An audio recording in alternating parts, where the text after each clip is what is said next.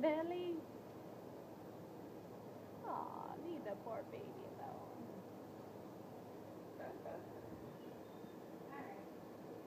All right.